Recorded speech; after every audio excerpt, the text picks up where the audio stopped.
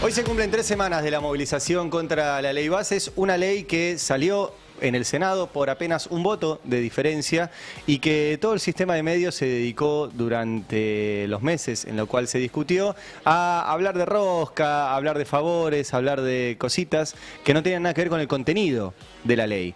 Si hubieran explicado el contenido de la ley, hubiera sido bastante obvio que los senadores y los diputados no podían votar esas leyes y volver a sus provincias para decirles que las habían beneficiado. Esta ley no beneficia a ninguna provincia porque básicamente lo que hace es entregar los recursos naturales que efectivamente son de las provincias según la Constitución, pero les permite a grandes empresas venir con un régimen impositivo que no se va a modificar durante los próximos ocho gobiernos, ocho presidencias, eh, con facilidades para eh, pagar menos ganancias, para amortizar más rápido la inversión, para acceder a los dólares, para fugar esos dólares, sin la obligación de uno, que era algo que podía beneficiar a las provincias, industrializar parte del recurso natural que saquen en la Argentina, y dos, que tengan que tener obligatoriamente proveedores a las pymes locales. Por ende, no hay ningún beneficio para ninguna provincia, para ningún gobernador eh, en esta ley.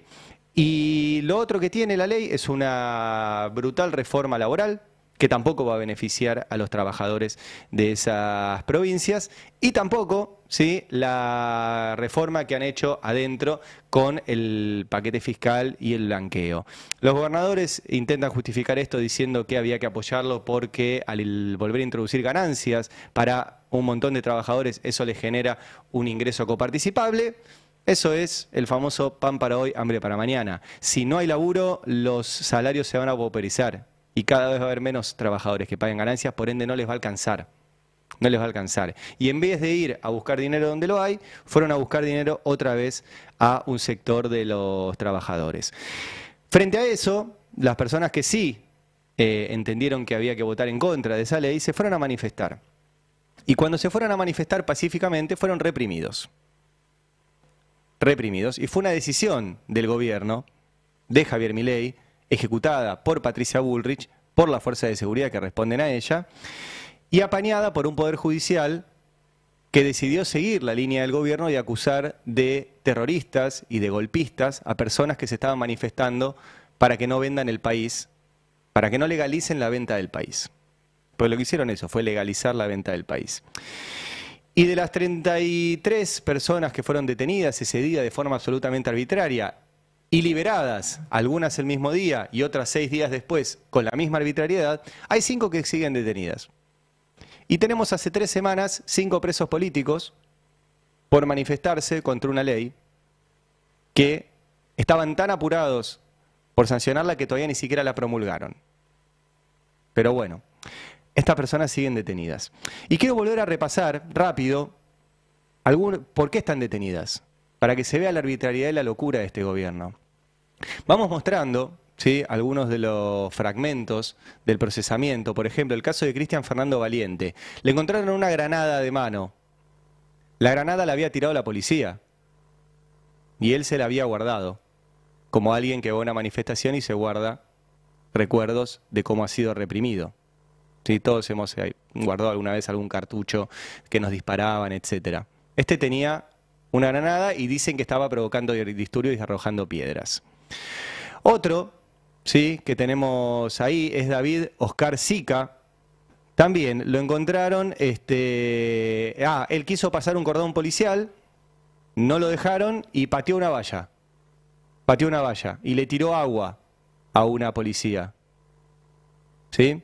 Ahí está, si lo podés agrandar abajo, alrededor de las 14 horas aproximadamente, se acercó un cordón policial y como no lo dejaban pasar, le... se enojó ¿sí? con el policía.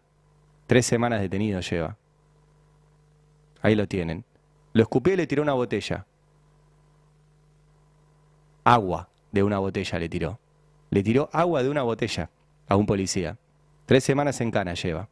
Otro, este, tenemos más casos. Esto es el procesamiento que dispuso la jueza María Romilda Cervini. De la Cruz Gómez, ¿sí? estaba con un grupo de personas prendiendo fuego tachos de basura y arrojando elementos a la policía. Tres semanas preso por prender un tacho de basura. ¿Sí? Otro. Esto es interesante, este es del mismo caso de la Cruz y que, voy a detallar ahora más cuando, muestre el caso de Patricia Calaraco. Los, los sucesos relatados por el Preventores, la policía y volcados en el sumario se encuentran corroborados por imágenes obtenidas en video y que fueron aportadas al tribunal. O sea, en este caso también usaron videos para detenerlo y tenerlo en cana a este señor. Pero quiero ir al caso de Patricia Calaraco. Hoy hablamos con su pareja, que dice que sufre maltrato psicológico, que la amenazan con trasladarla a un pabellón común, que la trasladan sin avisarle a su abogado, que no le dejan hacer eh, las visitas y que están empecinados específicamente con ella porque ella es una militante política, feminista, mujer, que estaba efectivamente en la movilización y que es bastante conocida la imagen, es la que estaba prendiendo fuego una bicicleta. ¿Sí? Quiero mostrarles de vuelta lo que dice la jueza para tenerla detenida. Dice en relación a Patricia Calaraco que la encontraron, ¿sí? la encontró la policía, y si leen ahí, Dice, estaba con un buzo de color amarillo, pantalón negro y zapatillas de color negra, pañuelo de color rojo y blanco, se encontraba en la plaza del Congreso de la Nación, informando que había sido, esto es lo interesante, captada por el personal del Centro de Monitoreo Urbano, cometiendo hechos ilícitos, por lo cual se solicitaba su detención, por lo que fue aprendida en la intersección de Chile y Lima.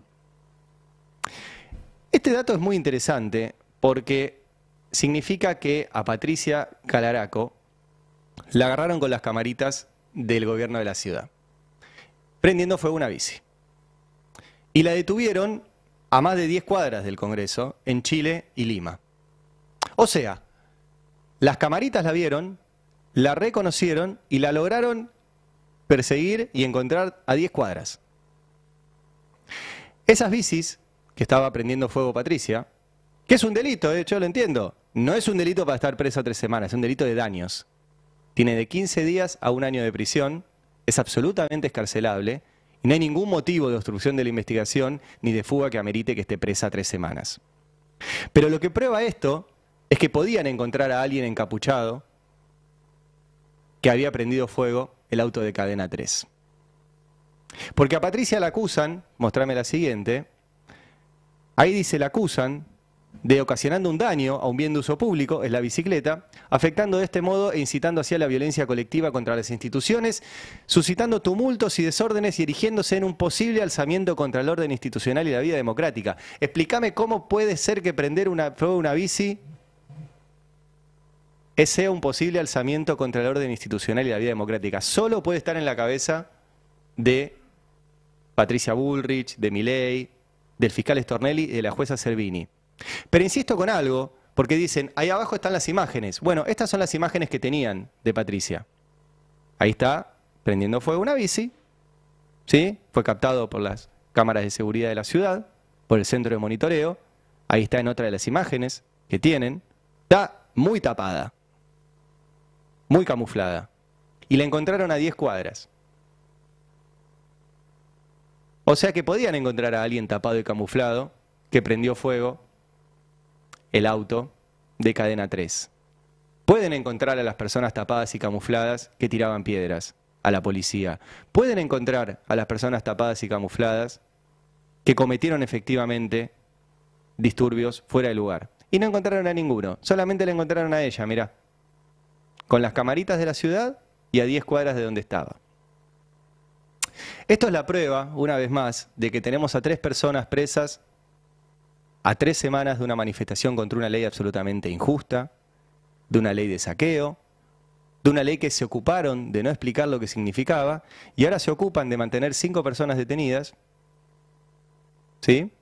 A tres semanas de esta situación, con situaciones de violencia carcelaria, con situaciones de maltrato, con el simple hecho de decir no te vuelvas a manifestar contra nada de lo que haga este gobierno, que ya anunció que va a mandar nuevas leyes, que ya anunció que va por todo lo que quedó fuera de la ley de bases de esas falsas negociaciones que hicieron los gobernadores, los diputados y los senadores, y los mantiene presos acusándolos de terroristas cuando podría efectivamente encontrar a los que cometieron disturbios, porque los tiene presos gracias a esas camaritas que tiene la ciudad y que permitieron encontrarla a Patricia a 10 cuadras de donde estaba. Y esto es la prueba. Y esto es la prueba. Tres semanas presos y se vienen nuevas leyes y obviamente nuevas movilizaciones contra el gobierno y van a utilizar esto para que la gente no se movilice. Pero igualmente la gente se va a movilizar. Dale. Explicarlos.